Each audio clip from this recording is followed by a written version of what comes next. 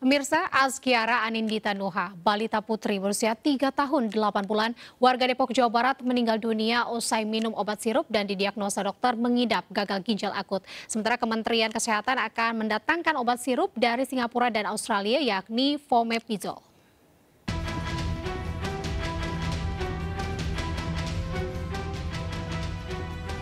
Saat ditemui di rumahnya Soliha, Ibunda Askiara Anindita mengatakan bahwa sebelum dibawa ke rumah sakit 8 Oktober 2022 lalu, putri sulungnya mengalami demam tinggi dan flu. Kemudian ia memberikan obat paracetamol jenis sirup kepada putri sulungnya tersebut. Namun usai meminum obat sirup, anaknya muntah-muntah. Khawatir dengan kondisi putri sulung, Soliha dan suami membawa Askiara ke salah satu klinik pada 9 Oktober 2022. Namun kondisi Askiara tak kunjung membaik hingga akhirnya dibawa ke rumah sakit di Pancoran Mas, Kota Depok, Jawa Barat.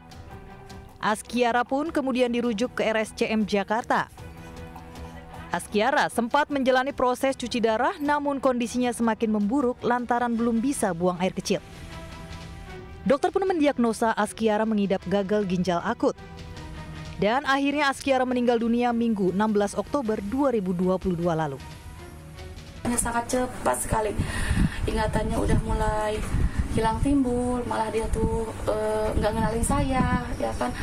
Apa yang saya tanya dia nggak bisa jawab gitu kan? Terus matanya juga udah mulai apa ya namanya udah melihat itu. Pokoknya udah mulai semuanya tuh susah gitu kan. Kondisinya menurun kondisinya menurunnya drastis banget.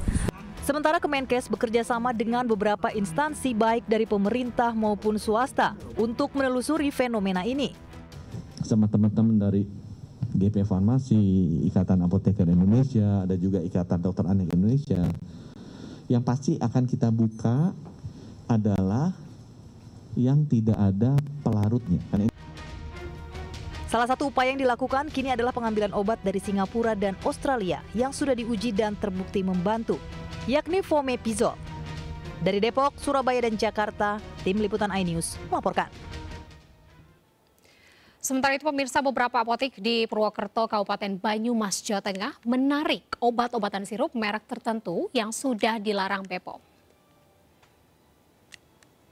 Beberapa apotek di Kabupaten Banyumas, Jawa Tengah menarik obat-obatan jenis sirup yang mereka jual, menyusul imbauan BPOM Kabupaten Banyumas.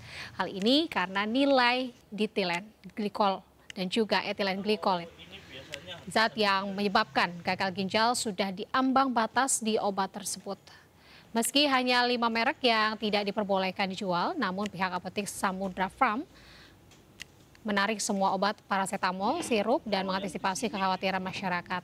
Obat-obatan sirup yang ditarik pihak apotek rencananya akan dikembalikan pada distributor dan akan diganti dengan pembelian obat lain. Di Banyumas sendiri terdapat satu kasus anak gagal ginjal dan masih dirawat di rumah sakit.